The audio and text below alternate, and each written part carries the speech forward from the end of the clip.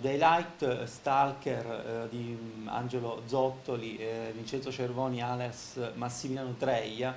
eh, continua appunto il discorso dell'estetica splatter eh, pura e semplice. È eh, sicuramente un, um, un cortometraggio eh, estremo in questo senso, ehm,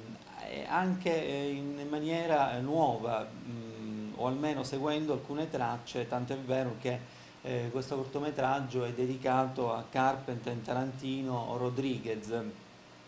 però ehm, verrebbe appunto da eh, ricordare anche eh, altri autori come Ferrara, Bigelov, che eh, hanno eh, usato moltissimo questa scopertura eh, del, del, vampiro, ehm, questa ehm,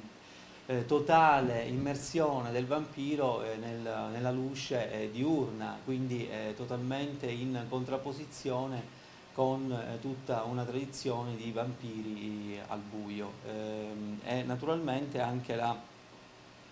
il discorso, il, il, riferimento a Rodriguez e a Tarantino vale come ehm, materia splatter sempre in movimento. buona visione.